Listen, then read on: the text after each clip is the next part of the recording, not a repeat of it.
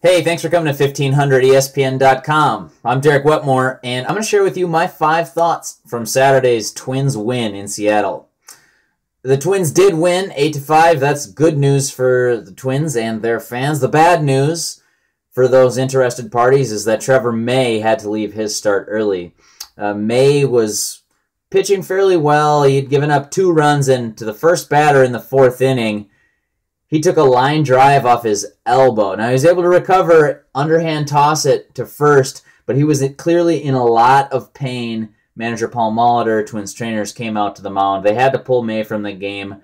The Twins took x-rays on May, and if there's a silver lining in the injury, it's that they revealed no kind of damage. It sounds like just a bruise, for now anyways, for Trevor May. Uh, the Twins are officially listing him as day-to-day, but that's really kind of too bad for the Washington native who was pitching in his home state.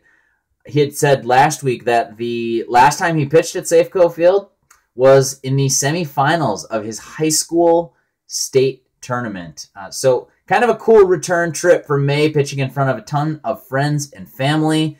Unfortunately for May and the Twins, it ended prematurely. Um, the bullpen cleaned up. They there were some troubled spots as usual, but to ask the bullpen to throw that many innings. Uh, the Twins were still able to get out of it. Win eight to five. Closer Glen Perkins got the save. Uh, Casey Fien with a clean inning setting up. That was thought number one. Thought number two. Joe Mauer has now gone 55 games in a row dating back to the 2014 season in which he hasn't hit a home run. Uh, tip of the cap to the Star Tribune's Phil Miller for first making me aware of that streak it's a kind of a surprising number. Uh, of course, Mauer's going to be compared to his 2009 home run output when he hit 28 at the Metrodome. Uh, Mauer's not that kind of power hitter, but it does surprise me that a player of his caliber who hits the ball in the barrel so frequently and is so good at hitting line drives and is comfortable hitting in two strike counts anywhere doesn't hit more home runs. He should be a 10 to 15 home run hitter, in my opinion, and really it's been a little surprising the past couple seasons to see the power dry up. Now, um, some of the extra base power is drying up too. A little bit of a concerning trend for Joe Mauer.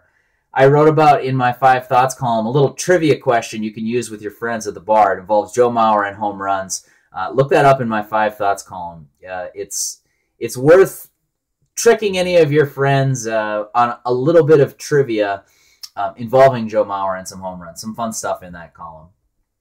Thought number three also involves Joe Mauer. Apparently, Twins manager Paul Molitor gave some thought before Saturday's game to batting Mauer leadoff. This with Danny Santana on the bench and in all kinds of a rut. Uh, I'm on board with the Mauer to leadoff move. I've said that in the past that I think it would make sense to have Mauer atop the lineup. Hey, listen, he's the Twins' best on base threat in the lineup, top to bottom. There's no question about it in my mind right now. On base percentage is a very important skill to have at the top of the lineup. So even though Mauer might not create havoc on the bases and he might not steal bases, um, it's not a crazy idea at all to consider batting Mauer leadoff, especially given what we've seen from Danny Santana this season, who continues to struggle. Thought number four uh, the Twins tied their season high with eight runs on Saturday. They did so with some good contributions from a couple of guys you maybe don't expect very much from. Eduardo Nunez and Shane Robinson both had kind of nice days at the yard. I think especially Robinson. You know, Nunez had two RBIs. One of them was on a four hop single up the middle. While the other was on a bases loaded walk in the first inning. So not to take anything away because all of the runs batted in count. Those are those all go on your total, and at the end of the year, they don't ask how, they ask how many.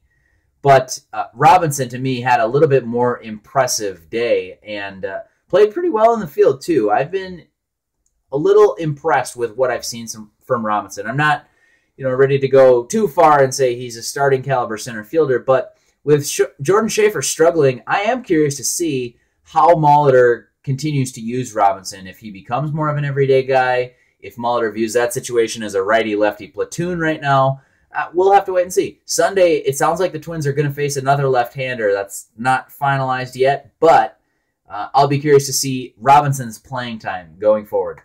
Thought number five, this is a Mariners thought. Nelson Cruz drove in a pair of runs in the first inning. He now has 20 RBIs, which, um, according to the Mariners, is the most in the month of April since Bret Boone in 2003. You'll, of course, remember Bret Boone from the end of his career, which was a forgettable stretch with the Minnesota Twins. But nice Seattle Mariners career, of course. And he is the last player to drive in 20 for the M's in the month of April. Uh, the franchise record 30, I think. Ken Griffey Jr. in 1997. Wow. 20 home runs, or uh, excuse me, 20 RBIs is still a ways away from the Twins record from 2014, anyways. Chris Colabello drove in 27 runs in 23 games, if you remember that incredibly hot start to the season for the Twins' 30 year old rookie, who's now in the Toronto Blue Jays organization. Anyways, a lot of fun stuff crammed into this five thoughts. Check out the website. Phil Mackey and I will have another Touch 'em All podcast going up Sunday night. You can find that on iTunes. Just search Touch 'em All. Uh, weekly conversation on the Twins, where a couple of baseball nerds get together and talk about um, some fun stuff that's gone on in the in the past week. Whether it involves the Twins, Major League Baseball, whatever. We just like to talk ball. So check that out. Follow me on Twitter at Derek Wetmore. Until next time, thank you for watching this video, and I'll catch you later.